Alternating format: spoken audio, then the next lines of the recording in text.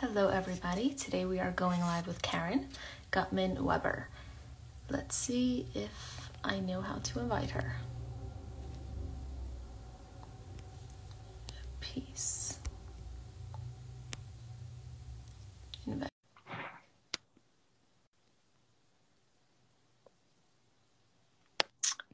Hello. Hi. Hi. Hi. Are we good? I think so. Amazing. I see you. I hear you. One second. Let me just make the volume louder. Okay. All right. Thank you, whoever's joining at this time. All right. Thanks, Karen, for coming on.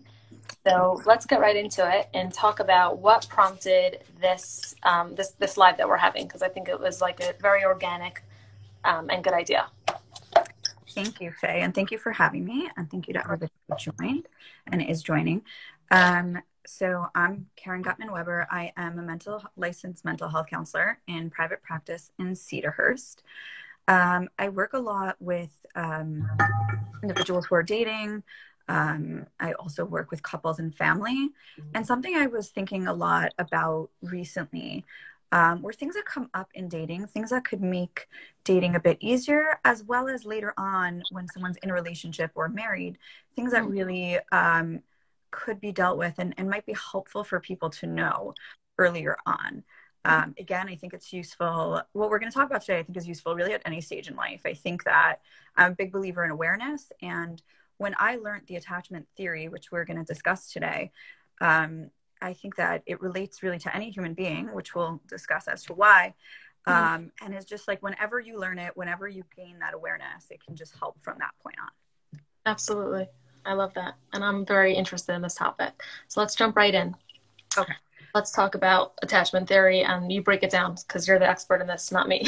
Okay. So I'm going to ask you to stop me, ask a question if I'm going either too fast or unclear. Attachment is one of those things that as a therapist you talk about all the time and you forget that it's not just spoken about all the time by everybody. exactly. So um, I remember learning it and not feeling clear. And it's one of those things I'm going to really try to make relatable because once you can see it uh, in your everyday life, it becomes very clear to you. Mhm. But again, it's it's not just regularly taught, which I forget. Amazing. Okay. Okay. So the attachment theory was created by somebody named John Bowlby, and he was a psychotherapist who studied the way that people relate. And the reason that this pertains to everybody is because the way we, we relate originally comes from our relationship, of course, with our parents, our original caretakers.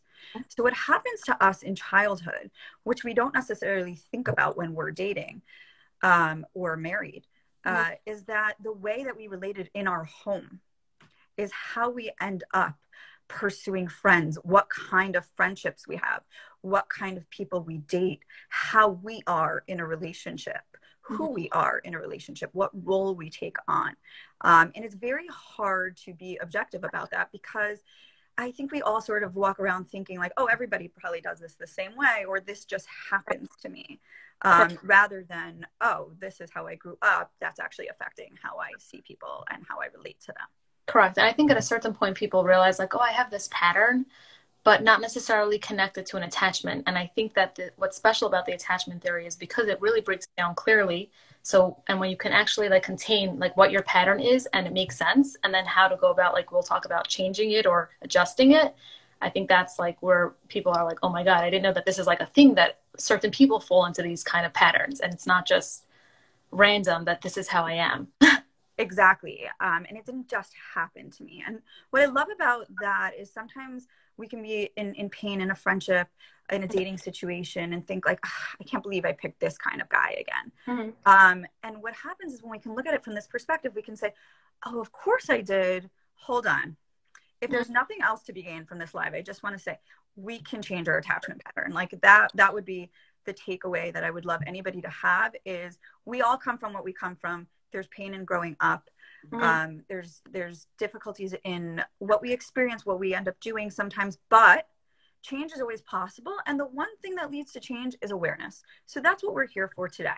I'm going to do my best to describe the four types of attachment and try to give a relatable way for you to see which one you may fall into. You'll probably also recognize your friends Mhm. and also like uh, your favorite characters in a book, your favorite character in a movie. They all pop up. Mm-hmm. And just having that awareness um, of what's called so there's one kind which i will get into but that's called secure. And then mm-hmm. there's three types that fall into a category called insecure. Okay. so most people so, are gonna but you know if i'm looking down it's because i'm taking some notes? Of course. I think better um, writing yeah. so in the insecure types that's most people because right three out of four types of attachment are insecure. But we can get to secure so if we know what is needed in a secure which i'm going to start with because it's the gold standard um, we can get there. And again that's the most important thing to me for people to know is there is a lot of pain and healing to be done when you come from an insecure attachment but mm-hmm. it can be done and you can get to secure. I love that. And, even like prior to this conversation like i didn't even realize that. Like i didn't like i thought everyone's somewhere on the spectrum and like you just wiggle your way to like a healthier place but that like it's really change is possible within even within these constraints of like you might have this pattern and that's okay and we can change it. Exactly and it's really doable. We can't change how we grew up. So that that's always the pain comes from. Mm-hmm. i can't redo that but we can change the type of parent the type of friend the kind of relationships we have. So that again is is my most important and now i can go into what the types are. Perfect. so first and foremost is secure the gold standard, I want to say from my experience, both as a person as a therapist, I think it's not a huge percentage of the population. So don't feel bad if you're doing okay. secure attachment. All right, disclaimer. I like that. Okay. so what makes a secure attachment? It's not perfect parents. So let's just already like scratch that. There is no such thing as perfect. The mm. two ingredients that I think are the most important in a secure attachment are mm-hmm. consistency and presence. What does that mean as a parent? Who might you know to have a secure uh, attachment? These are the kind of people where it's not the mom doesn't work or the dad's always home or they're always saying the right thing. It's that there's a sense from this child that these people are consistent. Mm-hmm. They are there when they're there. They are there in a way that feels safe to me. And when they're not there, I feel safe because I know mom is away sometimes, but her love is not away from me. She is there when she is not there. Mm-hmm. And when she is there, she is present, which is a key ingredient. Emotionally present, being emotionally present with anybody in her life changes relationships. Mm-hmm. So that means I can hear what you have to give, I can validate that. And what's important from a caretaker, which becomes different in other relationships, is I know my role. I'm the parent to the child. I take their feelings in. They don't have to take mine. Mm-hmm. So the good that I have to give a validation of those kinds of feelings I can give. But this is the kind of mom who says, "Oh, you had a hard day," and doesn't start telling you about her day. Mm-hmm. This is about you. I'm present with you. Whatever my stuff is, I can put aside for a moment to mm-hmm. hear your stuff. Mm-hmm. That doesn't mean that a secure mom, dad never gets triggered, but they mm-hmm. also might notice that, might tell you that, and might then again be present with you and be able to contain themselves for you. So mm-hmm. that's the gold standard in relationships. And mm-hmm. people who grew up like this, who had the secure attachment, had consistent and validating and contained parents, they will find somebody also who comes from a secure home. So they match up with each other. Question. Yes. When you, you say consistent, validating, and and contained, so is that all under the consistency? Because I thought there were just two ingredients, which was consistency and presence. And now I'm like, okay, now there's more ingredients. Yeah, it's but really I, worth for the same thing. Exactly, you're right. You're all the same. The consistent, the, meaning the consistency is not that they're always home or they're always this. It's that they're consistently validating, except for when they mess up, but then they apologize um, they're consistently contained that there's a safe place for like you know that you can talk to them. And if they do get triggered like you said they'll let you know they'll be able to come back and apologize. They're emotionally regulated themselves. Emotion exactly. Couldn't say it better. Emotionally regulated that is the key that consistent emotional regulation. My stuff doesn't become your stuff Right, and they they understand that there's a two way relationship, but it's not an equally two way relationship. Meaning, I'm the parent to you, you're not the parent to me. You can share your emotional burdens with me, but I don't have the same liberty with you because exactly. I want to feel safe. Exactly. So, in a relationship later on, like a romantic relationship, mm-hmm. if somebody has that base, they can contain themselves they can share their own, but they also know where the boundaries lie. This mm-hmm. is me, this is you. We're not going to be a codependent force because we each have our base. We're safe. Mm-hmm. So I'm going to give you a fun disclaimer, what I think is a fun disclaimer. You're not going to find this in a rom com. It's not like the fun relationship, right? So there's no not books with these characters. Right. right. It's not dramatic. It's not dramatic. And therefore, unfortunately, as a society, we don't even know we're looking for this because mm-hmm. this sounds boring. Correct. Really, when we hear it, right, doesn't that sound beautiful? Like I keep my own, you keep your own, we share, we validate but it doesn't just mesh onto each other. We're mm-hmm. not constantly triggered because we have our basis of mm-hmm. security, of safety, of knowing what's mine, what's yours, that there can be consistency in life, that there can be safety. So, secure, again, it's the gold standard. It's not the typical, though, unfortunately.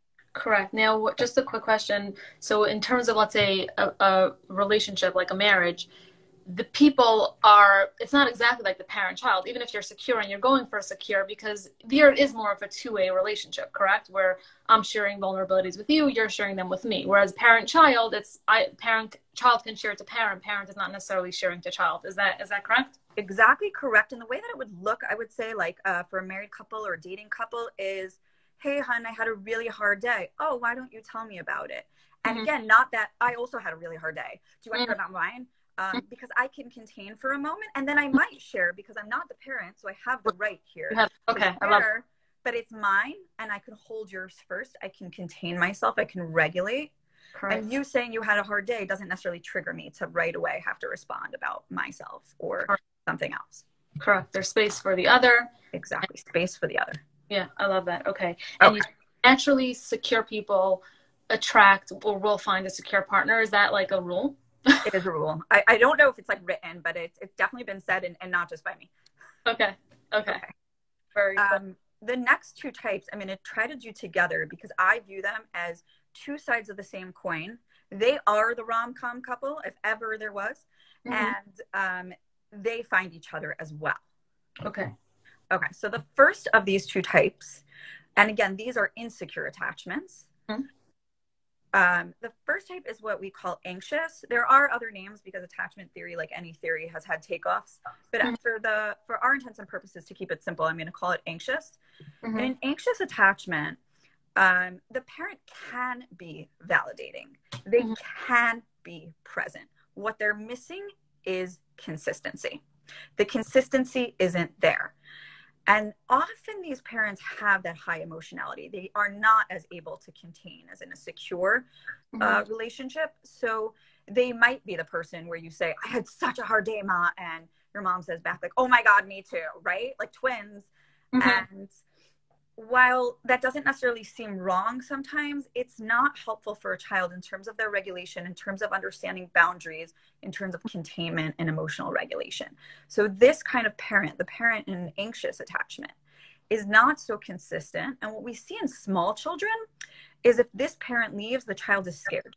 They're worried. They're not so certain that this person is going to come back and what they'll receive when this person comes back are they able to be there for me? Are they going to be somewhat distant? Are they going to make it about them? Is it going to be validating to what I need? So that piece is missing.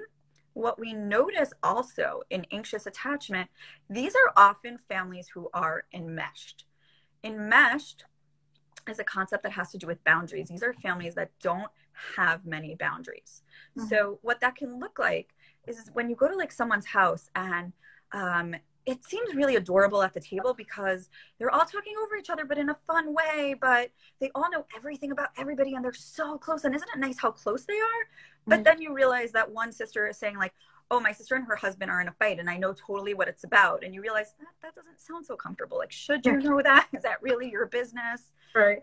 And that's siblings, so it's a little bit different. But from a parent, again, it's that they might not be containing. They might be not necessarily telling their kid like inappropriate things about their life, but about their feelings in a way that could really overwhelm that child. There aren't those appropriate boundaries of your stuff is your own um, and kind of staying in that space.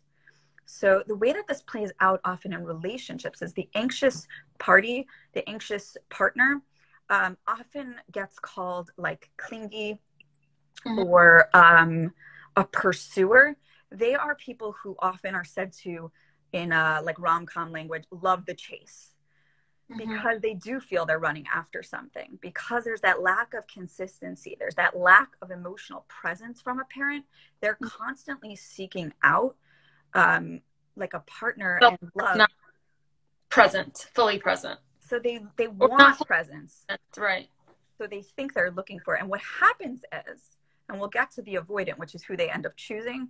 The avoidant when they are saying like hey i'm ready i'm available to you the anxious person who's not so used to that gets uncomfortable. So this becomes the person who will say something like i don't know i date guys and then i do something i get rejected. Ugh i hate that i keep getting rejected. Why does that keep happening to me? I really put myself out there I do remember though there was this date where I said some really weird stuff. I don't know what came over me. And I, I just seemed to like maybe want to break. And he felt like much for me all of a sudden. Um, and I think I like wanted to break up, but I don't know why. And now I don't feel good about the rejection. That mm-hmm. pattern is because I want to feel loved. I want to feel secure. I mm-hmm. haven't had that experience. So the minute someone says, Hey, I'm here, well, I don't trust that. What does that mean? You're here? Okay, so let me test that. Let's see how that goes. Mm-hmm. So I mm-hmm. test it. I may say something strange, something like that just doesn't make sense for the situation. I might try to push you away, literally, right, in some way. Mm-hmm. And then you leave. And then I say, okay, well, that's what I expected, right? Because mm-hmm. I used to tell my mom things. She totally didn't hear it. She wasn't present for me. That was an expectation I had. I said something to her that was even like scarier to see if she could get it. She didn't. Mm-hmm. That's the pattern. That's what I get. So this is anxious, yes? We're still on anxious. anxious. So how is that though? Because that to me sounds like it sounds avoidant, right? Because it sounds like they're pushing somebody away. So how is that? Like, how does that add up with being clingy and being a pursuer? Like, that's what I'm confused about. So we're going to discuss, and maybe it'll show up clearer when I explain who the anxious, the, who the avoidant is, what real avoidance looks like. Because okay. it's true that they switch sometimes, but what happens is when someone is, let's say, when the avoidant is uh, who the anxious pursues becomes just present so we're not talking about that they're becoming too much the anxious person being anxious about the attachment will view it as too much test it see if it's sturdy enough and then possibly cause a situation that's too much for the avoidant and mm-hmm. therefore kind of feel like they made the rejection happen mm-hmm. So it's not really avoidance. It looks like avoidance because what they're avoiding, what they're afraid of, is the security that that may happen because they don't really trust it because they weren't taught to trust it. There was nothing ever fully trust because we only trust when things are consistent. Why would we trust? It's like you know, you order a salad from a restaurant, it's good one day, it's not good the next day. The next time you order, I don't trust you now, right? right. This salad is not going to be good. Right. So it's the same with this relationship. I trust you. I think, oh, oh now mm-hmm. you don't feel present with me okay let me let me even like go harder let me see like let's add something into the mix and see oh no no no now you're not there for me okay i knew it you're not going to be there for me just like mom dad whoever wasn't there for me okay so what is the nature of the avoidance mm-hmm. so the mm-hmm. avoidant is the literal opposite this is a true blue opposites attract isn't it romantic situation mm-hmm. so the avoidant comes from a house usually where there was physical presence. They were well taken care of physically, but emotionally, um, these are not the parents who are saying, "Oh, my day was so hard." Also, they're just not really like listening. They're not taking in because they can. Uh, the parents in this situation often will feel overwhelmed by their child's, let's say, emotions, and they shut down. This is a parent who's more um, dissociated. Dissociated is when you get overwhelmed and you can't handle the emotionality. So you sort of check out. So this is, let's say, a mom who's there with the cookies, with the milk, and you say, Mom, my day was so bad, and my teacher yelled at me. And they're like, I'm sure it wasn't. I'm sure it was just fine. Mm. And that's not validating, right? That that right. says, Oh, okay, mom likes to hear nice stories. Okay. Mm-hmm. Um, I shouldn't be so sad. Um, and it again, societally often gets presented as um, yeah, my, you know, my parents were just believers that like nothing in life is really that bad. And we just pick ourselves up after something happened. But missing that piece of first, I feel validated. First, I feel safe. And then I could maybe pick myself up. Right. Right. right. So in relationships, this person is often very closed off And they'll say something like, I just believe in privacy. You know, I come from a family where we just don't talk about unpleasant things because why life shouldn't have to be unpleasant, mm-hmm. which can all sound super nice in theory. Mm-hmm. And again, um, you know, in a rom com, seems like, oh, he's so tough and masculine. I don't know why they they make the avoidant one often the man, which doesn't turn out to be true either. But he's okay. so masculine. He's just holding it together and listening to her. But you realize he's not really listening to her, and he doesn't really have a capacity for this. He may very well label her as something like clingy because what he sees is a lot of energy coming his way, and he wasn't taught, or again, she wasn't taught, just using the mm-hmm. old model. Mm-hmm they were not taught people from this situation to be able to contain their own and hear someone else's and validate it. It's mm-hmm. whoa, that has to be contained. Let me put it over here. Mm-hmm. No, we don't do that, whatever that is. And homes like this is when someone will say, you'll say to your friend, like, are you close with your siblings? We see each other Hanukkah. We're really nice to each other. Um, do you guys ever talk about anything? Like if you have a problem, would you call your brother or sister? Probably not. I really don't want to bother them. They're really busy. Mm. Um, mm. You know, I don't really need to talk to people about things. I'm I'm fine. There's not um, emotional health is not given or emotional development is not given like credence basically. Yeah, and again, like you said before, the difference in security and insecure ones is there isn't the emotional regulation. So Correct. the idea for an avoidant person, a person rather from an avoidant home um, or attachment, is I will get overwhelmed. My parents got overwhelmed when we were too sad, too angry, or what they perceived as too sad, too angry. Um, mm-hmm. Therefore, emotions are to be extremely contained. Boundaries mm-hmm. are to be extremely put up, right? There's a boundary around everything in these families. Oh, no, no, no, we don't talk about that. That That's not for here, right? Mm-hmm. Those kinds of homes. So, why do these people attract each other? Because of opposites attract, because maybe this person will teach me boundaries maybe that person will help me loosen my own boundaries. And mm-hmm. it seems great and it makes for the best movie.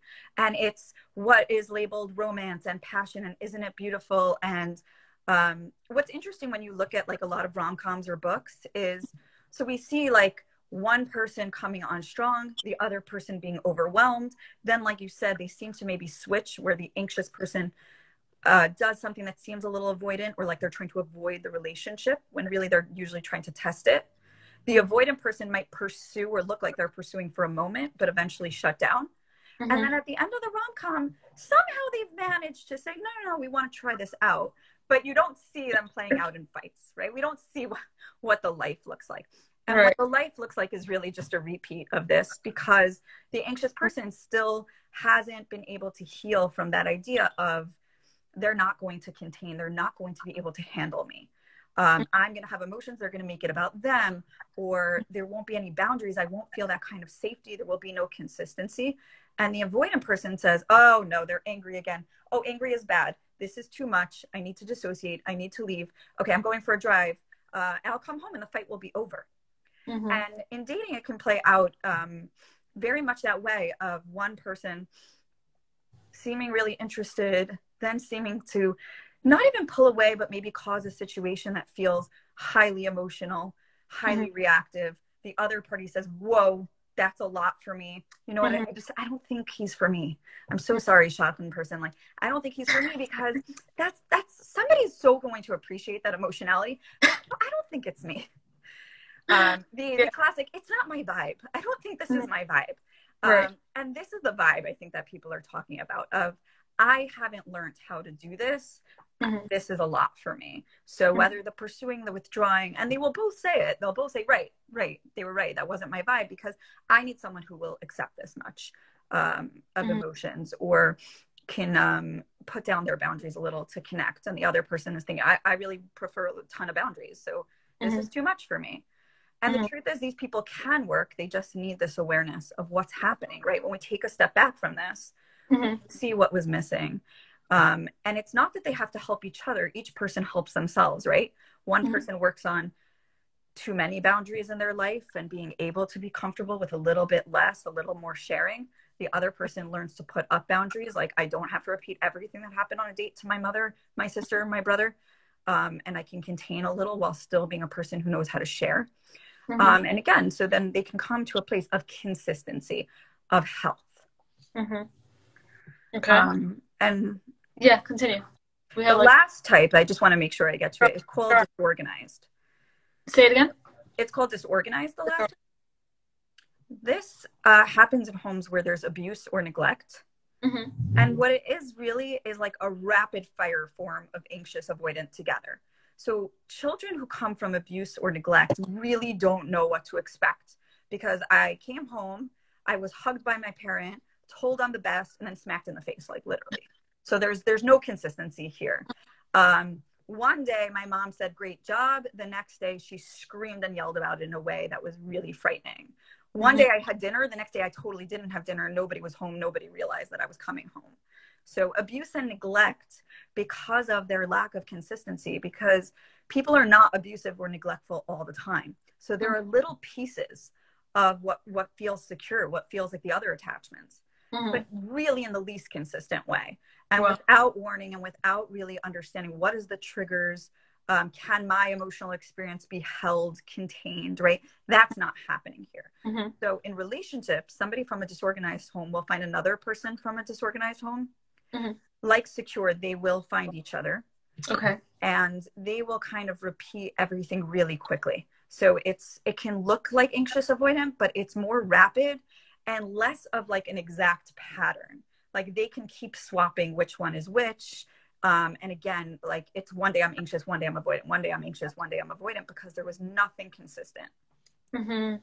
so maybe they'll find another disorganized but they but their styles are basically disorganized is rapidly switching between avoidant and anxious is that true because i don't know if it always has to be but it's basically overall a lack of consistency mm-hmm. um, a, a, a clear lack of emotional regulation mm-hmm. um, because again that's not something that would have been taught to them mm-hmm.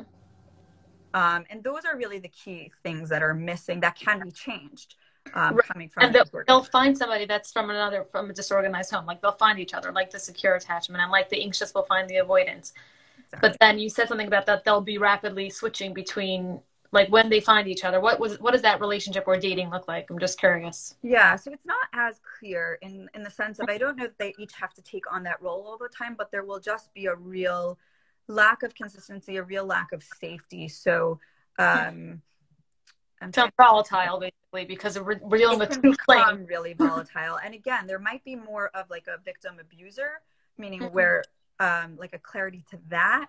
But in mm-hmm. terms of for the victim even in terms of reacting a certain way they may not. They may like really switch off because again in their life their day to day um, they were victimized but then had like you know um, a good day um, which will happen in an abusive relationship as well where there are good days. So mm-hmm. the roles seem to switch but the overall role might be there uh, meaning that the victim is not necessarily or at all um, acting the way the abuser would act mm-hmm. if that makes sense. But there, there's a lack of consistency in their action. Again, of course, there's no victim blaming or shaming. It's just when people say, "Why would someone be uh, be attracted to somebody who's abusive?"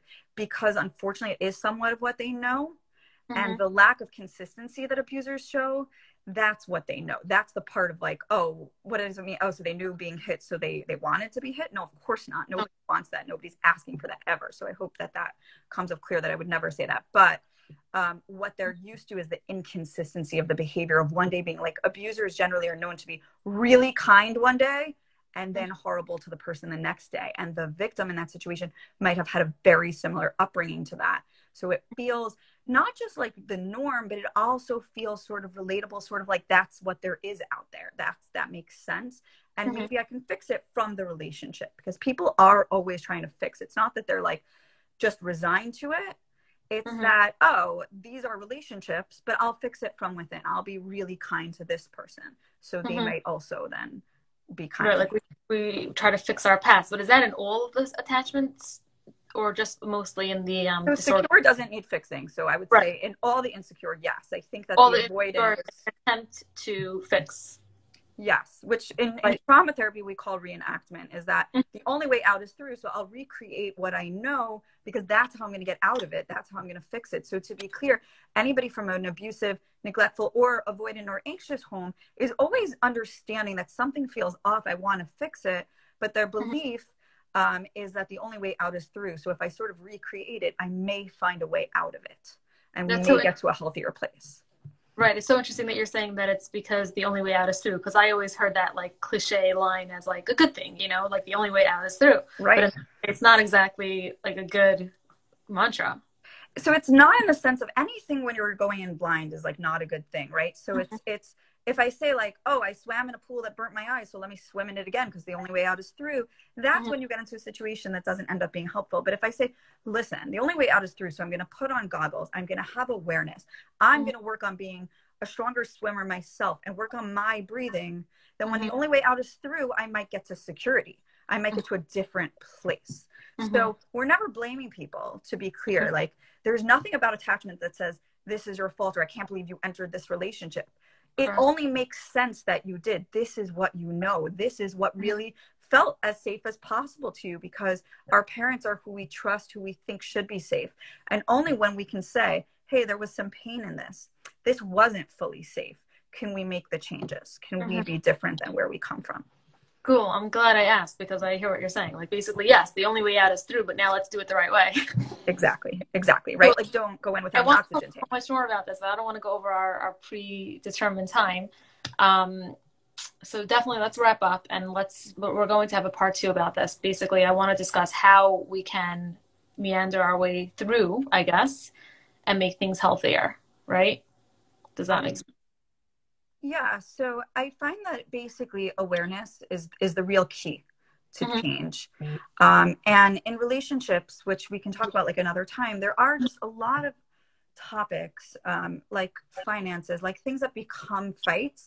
That if mm-hmm. we have awareness, if we know this is how this was spoken about in my home, this was triggering to me as a child this was triggering to my parents this mm-hmm. was the breakdown of responsibility right it changes how we relate to people because when we're really fully aware of where we come from what mm-hmm. does feel right about that what doesn't feel so right where was my pain where was i secure um, or felt loved or validated in this area then we know what we have what tools we have what we may want to change and what mm-hmm. we can utilize Correct. Okay, so we're going to discuss that in a part two. And my last question before I forget is like, is it that an anxious person chases like I'm not I'm sorry, is it that an anxious person is it correct that a person, let's say from anxious, should work through something with an avoidant, or is everyone's goal is to find a secure partner? Do you get what I'm saying? Like what is um, the yeah, ideal? So any partner can become secure. That's what I would say, right? Let's say an anxious and avoidant walk into couples therapy. Can they mm-hmm. get help? Yes, because just noticing this pattern will help the both of them be mm-hmm. able to become what's secure. Because what is secure? Consistency. We can all become more consistent. We mm-hmm. can all learn to contain and emotionally regulate. So those are the only things needed. Therefore, any of the insecure can become secure. Mm-hmm. And we don't have to break up with someone saying, Oh, I see the pattern. Oh, I can't believe I'm with an avoidant. It's really, Hey, by the way, we're anxious and avoidant. What do you know? Welcome. Um, would we love to become secure? Could we work mm-hmm. on that? Right. Mm-hmm. Um, and, and like you said, we can discuss in part two, even when right. one person changes, how that changes the dynamic. Cool. Okay. Okay. And so you're saying basically the goal is not if you identify whoever's listening or any right, like you identify as an avoidant or as an anxious, and you're dating, you don't need to say, okay, I must find a secure partner right now because right. typically you won't even be attracted to that person. You might be attracting somebody if you're an anxious you might be attracting an avoidant and then the question is once you see your pattern are you are one or both of you willing to work on it work together through it?